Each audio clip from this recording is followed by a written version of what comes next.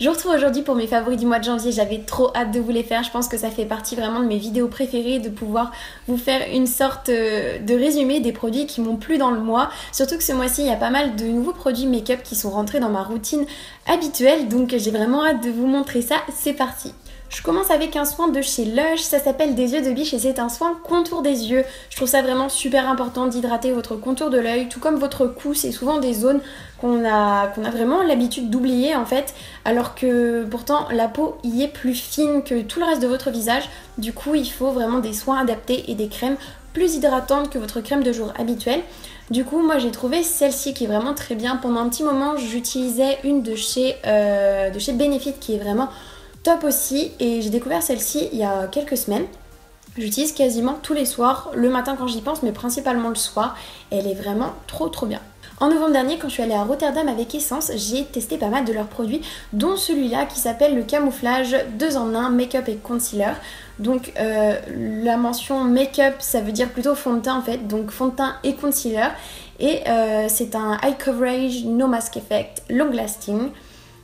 Je l'ai testé, je l'adore. Il a vraiment une texture assez crémeuse, qui s'étale bien, qui est vraiment très couvrante. Donc euh, moi j'utilise principalement en concealer et des fois je n'utilise que ça sur mon visage. Du coup en général juste au niveau euh, du dessous de mon œil et de temps en temps si j'ai des imperfections, des boutons, tout ça je l'utilise dessus. Il est vraiment trop bien, je m'attendais pas du tout à l'apprécier autant. Et euh, voilà, si vous cherchez quelque chose de pas trop cher, qui couvre bien, je vous conseille de tester celui-là. Je vais maintenant vous parler de mon gros coup de cœur de janvier et à coup sûr ça va être un coup de cœur pour toute l'année 2017. C'est ce produit de chez Becca, c'est un scintillant embellisseur.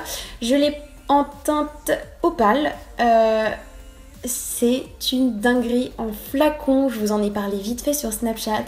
Mais comment vous dire que c'est un produit dingue? En fait, clairement, ce n'est ni plus ni moins un highlighter liquide. Il est génialissime. Je l'applique avec mon Beauty Blender. Je mets, vous voyez, en fait, c'est euh, un système comme ça où on appuie. Je prends une pression que je mets sur ma main. Et au Beauty Blender, je viens comme ça tapoter sur mes joues, sur mon nez, euh, sur mon arc de Cupidon et c'est une tuerie. Là, je le porte aujourd'hui, je n'ai absolument aucune idée de si on le voit à la caméra ou pas. Mais juste, allez tester en magasin si c'est possible. Euh, il est fou. Je ne sais même pas d'ailleurs s'ils les ont en magasin. Je me demande si c'est pas une exclus Sephora, mais sur le site web. Mais vraiment, euh, je crois que je vais finir par même vous en faire un article juste sur lui pour vous le montrer, pour vous le swatcher en photo avec, sans flash, tout ça, parce que il est juste dingue. Un autre gros coup de cœur, c'est cette palette Slick. Euh, c'est une palette de contouring que j'adore énormément.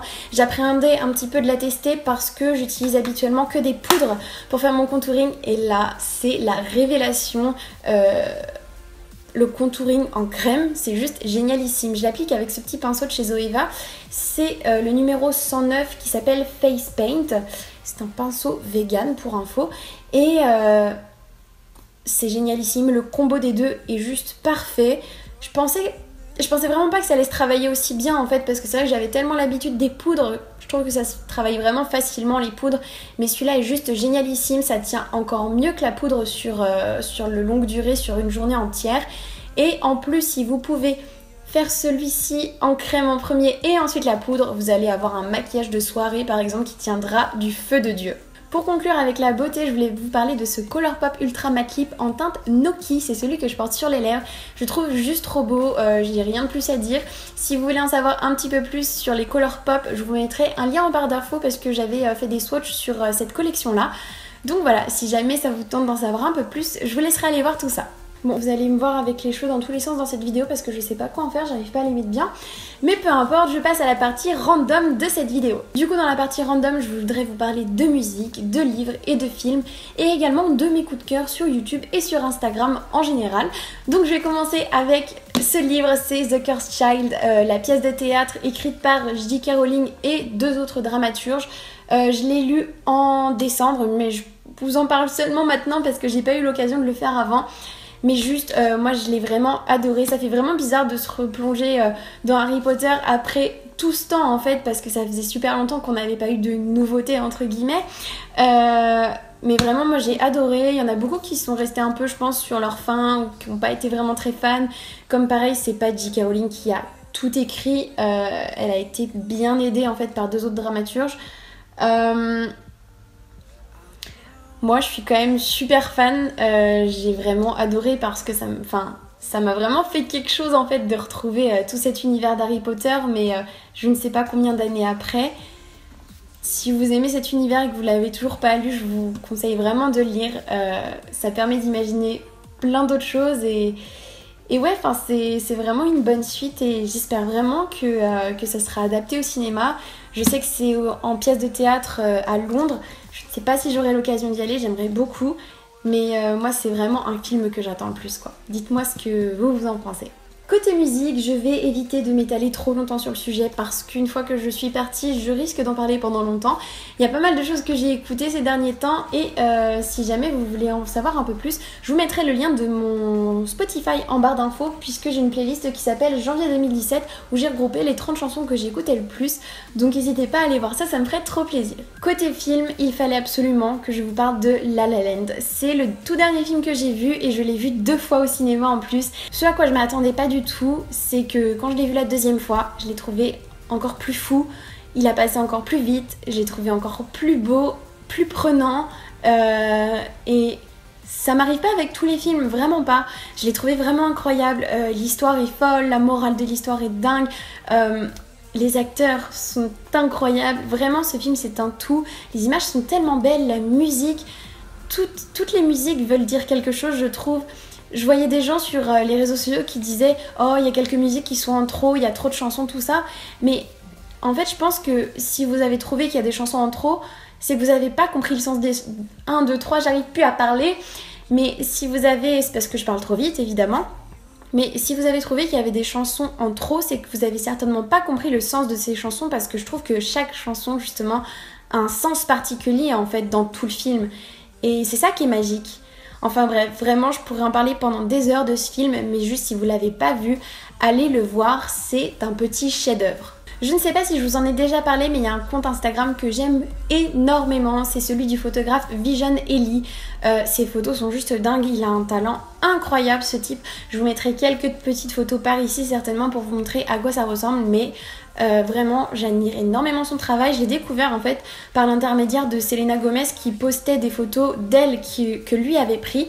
Et euh, je suis allée voir par curiosité. Je pense que beaucoup l'ont connu grâce à elle mais il fait un travail, c'est juste magnifique. Vraiment, je suis trop fan de ce qu'il fait.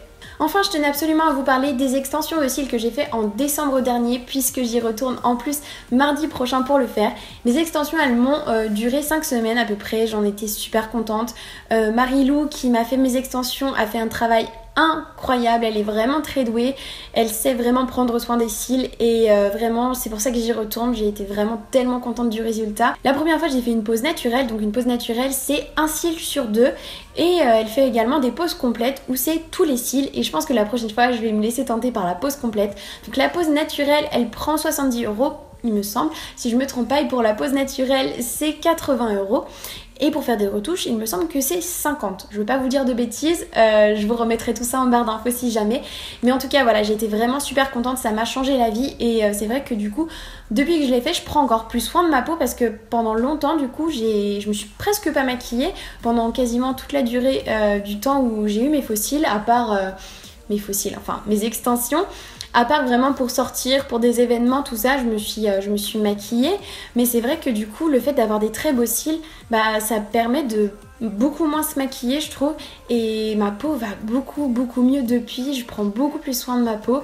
Et d'ailleurs, je pense que je vais pas tarder à vous faire une sorte de routine euh, visage, soins, tout ça. Parce que je suis complètement devenue gaga de tout ce qui est masque, exfoliant, tout ça. Faut absolument que je vous en reparle très vite. Et voilà pour mes favoris du mois, j'espère vraiment que ça vous aura plu. N'hésitez pas à me poser vos petites questions en commentaire si vous en avez et à me dire également quels ont été vos favoris du mois de janvier. Sur ce, je vous laisse et je vous dis à très vite pour une prochaine vidéo. Ciao